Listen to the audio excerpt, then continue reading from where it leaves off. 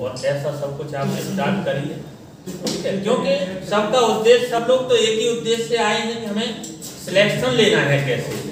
क्योंकि हमारा किसी का भी ये उद्देश्य नहीं है कि हम पढ़ के जाके मतलब बेलदारी करेंगे। सिंपल है ही है। सब लोग पढ़ के कुछ न कुछ बनना चाहते हैं, तभी तो आए हैं। आप कहीं भी जाएँगे, अगर पढ़ने के उद्देश्य से जा रहे हैं तो मतलब पढ़ना ही है आप समझ रहे कि नहीं? तो बाकी के सब चीज़ें जो भी आप इधर उधर जो भी करते हैं, उन सभी चीज़ों को छोड़ते हुए केवल अपना एक ही रास्ता कुछ समय तक तो कम से कम बना के रखें। हम ये नहीं कह रहे कि लाइफ टाइम तक आप एंजॉय मत करो। नहीं, आप खूब एंजॉय करो। एंजॉय तो अच्छी बात है ना सेहत के लिए तो। लेकिन इसके साथ, पढ़ाई के साथ कभी भी कंप्रोमाइज मत करो।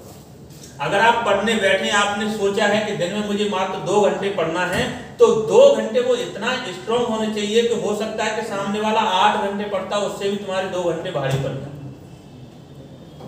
समझ रहे हो? बहुत अच्छे अच्छे कुछ रैंक लेके आए जो बच्चे। वो ऐसा ही बोलते हैं कि हम सर केवल तीन चार घंटे ही पढ़ते हैं। टॉप रैंक लेके आ जाते हैं। क्योंकि उस टाइम में वो बाकी का कुछ सोचते नहीं है। मोबाइल बगल में स्विच ऑफ़ ही रखेगा। लेकिन हम लोग क्या करते हैं कि मोबाइल सामने रखा है व्हाट्सएप ऑन है, देखते रहते हैं बगल में किस किस का मैसेज आ रहा है। ठीक है? हो सकता है हम भी थोड़ा बहुत कहीं करते होंगे तो ये चीज़ें हमें भी याद है, लेकिन हमने भी गलतियाँ सुधारी, हमने नहीं किया ऐसा। है ना? तो आप लोग भी ऐसा ही करें बेटा, ये सब चीज़ें फालतू की छोड़ छाड़ के केवल अपना एक ही उद्देश्य रखें कि भैया हमें में पहुँचना है, हमें में पहुँचना है, और वो भी अच्छी एनआईटी अच्छी आईआईटी क्योंकि पढ़ रहे हैं आप लोग, अपने अपने लिए नहीं तो केवल माँ बाप के लिए सोचें। कि भाई, मैं अपने लिए नहीं कुछ भी करना चाहता हूँ, लेकिन मुझे जिन्होंने जन्म दिया है, नौ महीने हमें पेट में रखा है, और बाकी का अभी तक भी हमारे साथ हैं, सुख दुख में हमेशा साथ दे रहे हैं, हो सकता है कि कोई कोई ऐसा भी इसमें नहीं होगा, लेकिन कोई ऐसा भी होता होगा जिसके घर पर शाम को खाने के लिए नहीं, लेकिन माँ बाप फिर भी व्यवस्था करके अपने बच्चों के लिए तो करते ही हैं। यानी कि कितना कष्ट उठाते हैं? हो सकता है ये चीज़ मुझे कुछ समय पहले नहीं पता होगी, लेकिन अब मुझे इस चीज़ का बहुत अच्छे से अनुभव है, क्योंकि मैं भी एक बाप हूँ। मेरे भी एक बच्चा है तो मुझे इस चीज़ का बहुत अच्छे से अनुभव है। लेकिन नो डाउट हम ये चीज़ें बहुत पहले से भी ये चीज़ जानते हैं, बच्चों को पहले से ही बताते हैं। कि आप अपने लिए नहीं कुछ करें तो कम से कम माँ बाप के लिए ज़रूर सोच के एक बार। क्योंकि हमारी तो जवानी आ रही, हमारा तो लड़कपन है, लेकिन उनको बुढ़ापा आ रहा है। उनको बहुत उम्मीदें होती हैं कि हम अपने बच्चे की शादी अच्छी करें। हर एक किसी के पेरेंट्स का यही उम्मीद होती है। ऐसा नहीं है कि कोई गरीब है तो उनके माँ बाप नहीं सोच सकते, क्योंकि सोचने का कोई पैसा नहीं लगता है। तो सोच तो सकते ना हम लोग? वही हम अपने बच्चे की शादी करेंगे, बढ़िया से वी कार लेंगे, दहेज भी सोचते हैं, नहीं तो कम से कम अपनी तरफ़ से ही रखेंगे। हमारा बच्चा अच्छा अधिकारी बनेगा। हमारे माँ बाप नहीं पढ़े थे, लेकिन वो तब भी सोच सकते थे। सोचा था उन्होंने। तो मेरा बच्चा कम से कम इतना बने दस पाँच लाख रुपए महीने कमाए। सोचते थे। ठीक है? तो सबके सोचते हैं ऐसा। और हम लोग खुद भी सोचते हैं कि भाई हम भी अपने शौक तो पूरे करें माँ बाप के पैसे से तो बहुत ज़्यादा शौक नहीं कर पा रहे हैं। तो कम से कम अपने, इतना कमाएँगे कि अपने शौक करें। वो तभी पॉसिबल है जब आप खुद कमाएँगे और कमाएँगे जब जब आप कुछ ना कुछ करेंगे। बिना पढ़े लिखे कुछ पॉसिबल नहीं है। बच्चे बोलते हैं कि सर खिलाड़ी तो बहुत नहीं वो भी पढ़े लिखे हैं ऐसा नहीं है। आप देखेंगे इंग्लिश बोलते हैं अच्छे से उनका कैलकुलेशन सब कुछ आता है पढ़े लिखे हो आज के टाइम में तो आप फ़िल्म इंडस्ट्री में देखेंगे तो बहुत से engineer I T N N I T N आपके दिख रहे हैं और भी हैं कई एक और भी हैं। वो तो टॉपर था तो उसकी ऑल इंडिया रैंक कुछ मतलब सेवन रही थी। डीटीयू का था सर एआईटी ठीक है और भी कई एक हैं ऐसे जो फॉरेन में अच्छी अच्छी यूनिवर्सिटियों में पढ़े हुए हैं वो इस लाइन में। तो मतलब अब तो आपको पढ़ना लिखना है। भले ही आपकी साइड कोई भी रहे। भले ही आप सोच रहे हैं हम डिफेंस में चले जाएँगे कोई ज़्यादा वही भी पढ़ने की तो ज़रूरत है? आप कोई भी एग्ज़ाम देंगे एनडीए का देंगे बैंक का देंगे कोई बैंक में अधिकारी में कुछ भी हो आपको पढ़ना है। वो गाँव में एक कहावत है कि जब ओखली में सिर दिया तो चोट का काय कदर गाँव में से मतलब बोलते हैं जो धान होता है ना चावल वो ओखली में से मुँह से तो उठता है।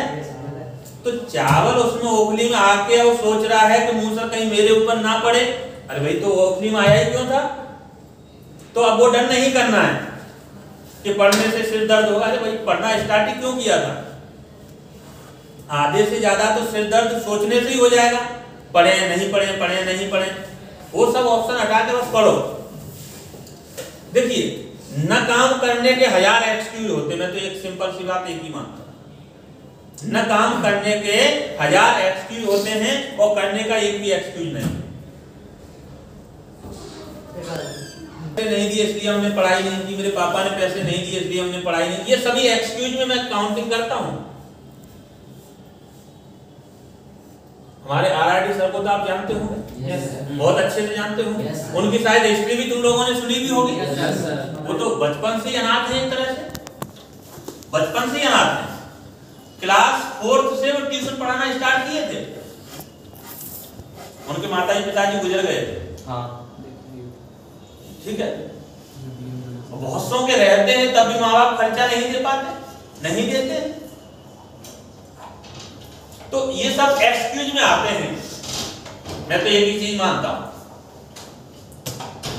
न करने के हज़ार बहाने और करने का एक भी बहाना नहीं है। बस आप करने लग जाइए, आपका उसी टाइम से होना स्टार्ट हो जाता है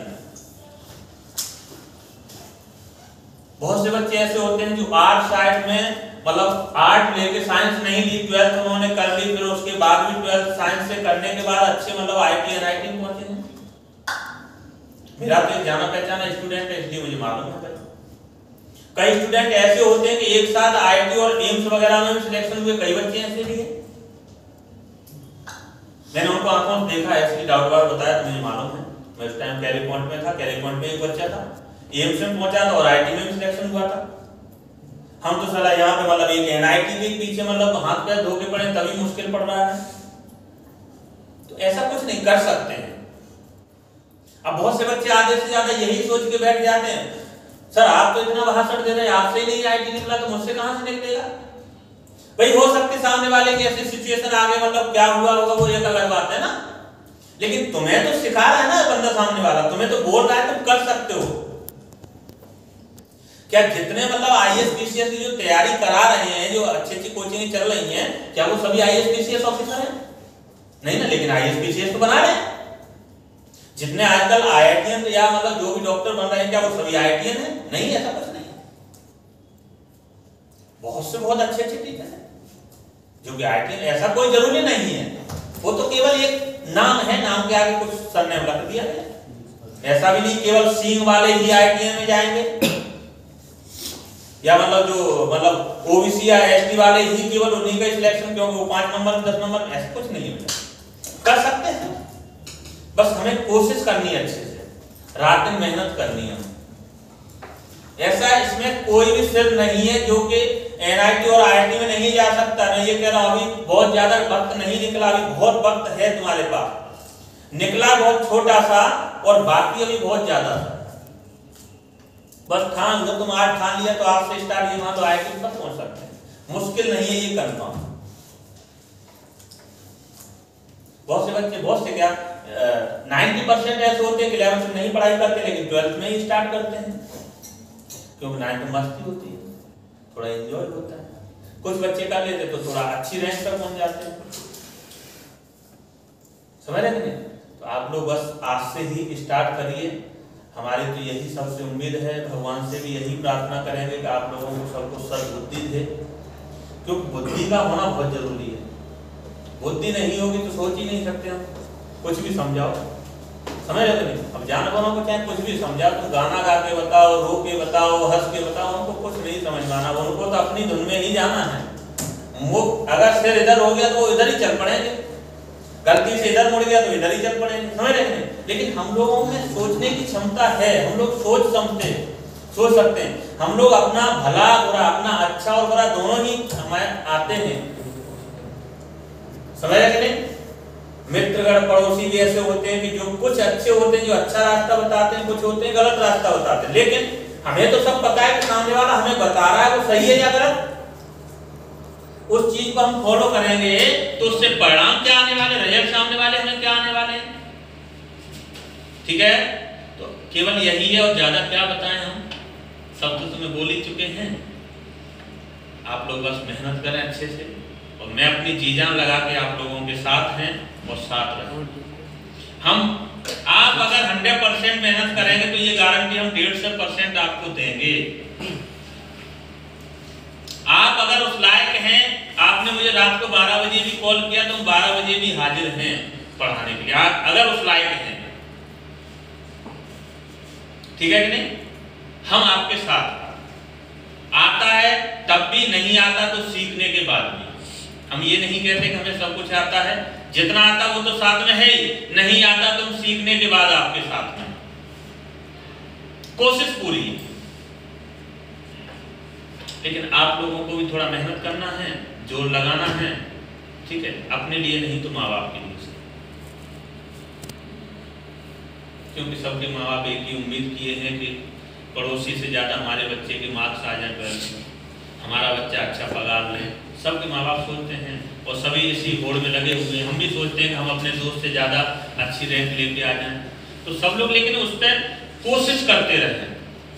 तो सबका सिलेक्शन हो ही? जाए और किसी ने सोच लिया कि मुझे ज़रूरत क्या, मेरे पापा पे तो पचास बीघा खेत, हमारा तो काम ज़िंदगी आराम से कट जाएगा। तो पचास बीघा छोड़ो, हज़ारों बीघा वालों की ज़िंदगी बर्बाद हो गई है। हम लोग तो हैं क्या? क्योंकि जिसको मैनेजमेंट ही नहीं आएगा, वो क्या पचास बीघा क्या मतलब पचास करोड़ क्या दस करोड़ रुपए बर्बाद कर देगा? और जिसको आता है, उसको एक रुपए माँ बाप ने नहीं दिया, वो भी मतलब अरबपति, खरबपति बन गए है।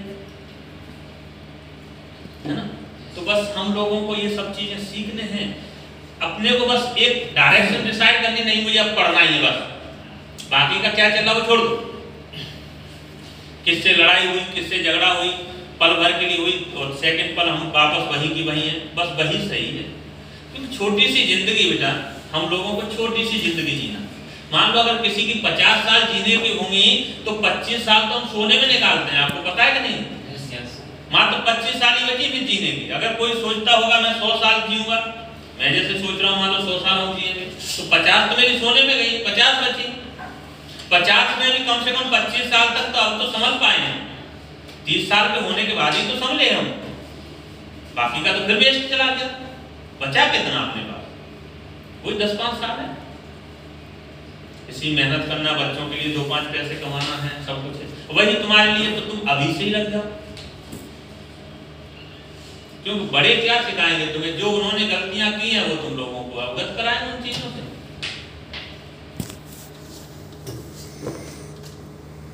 बाकी का सब छोड़ छाड़ के अपनी पढ़ाई में लगो और सब झूठा जाएगा एंजॉय खूब करो एंजॉय तो मना नहीं करते लेकिन पढ़ते वक्त अगर दिन में तुमने डिसाइड किया डेली मुझे तीन घंटे ही देना है घर का सेल्फ स्टडी तो तीन घंटे फुल हंड्रेड परसेंट दे दो। ठीक है? Yes, तो आज की अपनी राम राम जय श्री कृष्ण। भगवान से सबके लिए प्रार्थना करेंगे। सब सब सब अपने अपने रास्ते में अच्छा सफ़र करें। ठीक है?